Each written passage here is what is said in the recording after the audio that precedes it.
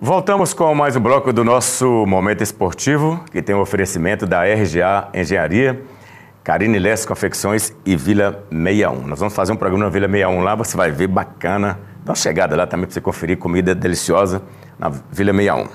O Palmeiras conquistou antecipadamente o Campeonato Brasileiro de Futebol. Você vai ver nesse programa aqui, nós convidamos o coordenador do Palmeiras MOC, para bater um papo, que é o Leandro Frois, para falar de mais um título conquistado. O maior ganhador do Brasileirão. Leandro, seja bem-vindo ao nosso Momento Esportivo e dá os parabéns.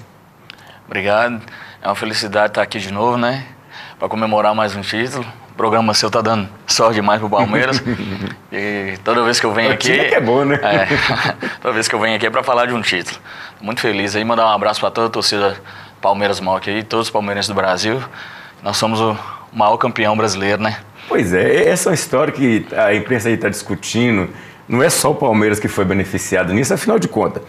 São cinco títulos, são nove. Que, que, qual que é a história real da, disso aí, Leandro? Você que conhece bem do Palmeiras. Ah, isso é uma confusão que a CBF fez, né? É, na, na, década de 60 teve a Taça Brasil e o torneio Roberto Gomes Pedrosa. E já que tinha a discussão dos times, né? O caso do Bahia e, e Botafogo, né? Que conquistaram menos pediram lá para a CBF para poder transformar todos os títulos em Campeonato Brasileiro, né? Que eram os campeonatos nacionais da época. Aí a CBF transformou e acabou que com isso o Palmeiras se tornou é, N campeão brasileiro, né? Mas se for deixar no formato antigo, para mim também tanto faz que... To... Cinco títulos é maior do mesmo jeito. Todos os campeonatos que a CBF organizou desde o início do futebol aqui no Brasil, o Palmeiras ganhou. Todos. E olha só um pouco da festa da galera comemorando aí no último domingo, pelas ruas da cidade, comemorando, fazendo festa. Vocês têm um QG aqui em Montes Claros. Antigamente era lá no São Judas. E agora é onde? É, agora mudou também, né? continua no São Judas, né? A gente que andou, teve que mudar de alguns lugares. Agora a gente tem nosso local próprio, que é lá em frente ao cemitério, né? E tá bacana demais. Ontem tinha umas 300 pessoas lá.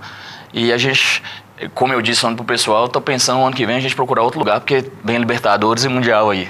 Só entra palmeirense lá, não entra outra torcida? Não, só entra palmeirense, mas ontem Ontem, inclusive, a gente teve o apoio lá da Galocura, que foi lá dar uma, uma força para nós Ué. lá, né? Na comemoração do título.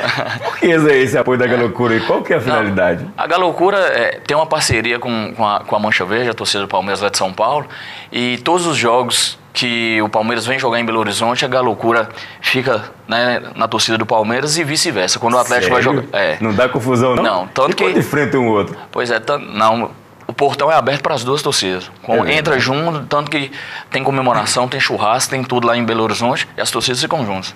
Não tem problema. Vamos ver o seguinte, vamos ver o gol da, da, do título do Palmeiras aí para a galera aí. Confira comigo.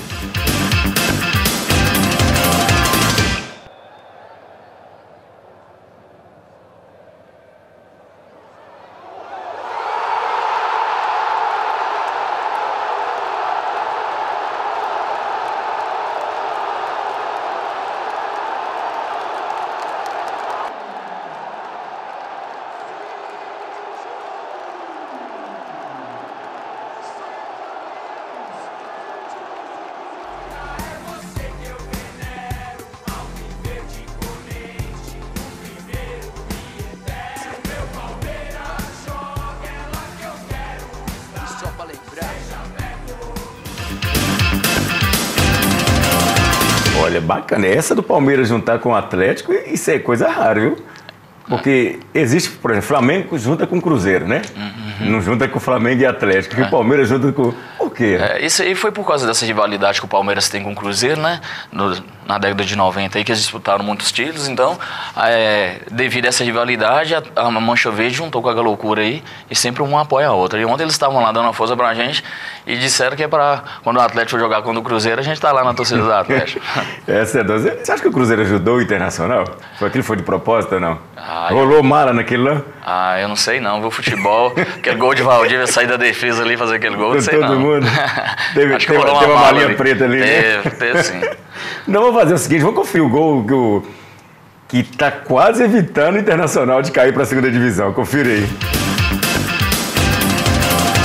O gol do Inter começou com o escanteio do Cruzeiro. A bola foi afastada e caiu nos pés de Valdívia. O atacante disparou, foi se livrando dos adversários e quando chegou perto da área, chutou colocado 1 a 0 Colorado.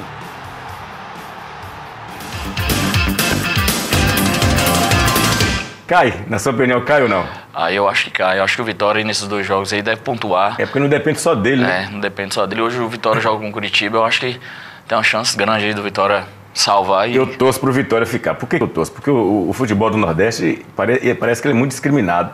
E é um dos que tem maior média de público no Brasil. Você vê a Copa Nordeste, tá? você vê é, a é, Vitória e Bahia, sempre lotado. Você vê Esporte Recife, tudo lotado. Eu torço para ficar os dois na primeira divisão. É, é, verdade. O Santa Cruz, né, que era o, Sim, o representante Cruz, nordestino, é. caiu. O Bahia subiu, né? Ainda subiu, bem. Ano subiu. que vem tem, tem clássico baiano aí. Tá, então é muito bacana. Nós estamos batendo papo com o Leandro Frois, que é o coordenador da torcida Palmeiras MOC aqui em Montes Claros. Está fazendo festa antecipada, o melhor time do Brasil, Palmeiras. Nós vamos para o intervalo, daqui a pouco a gente volta.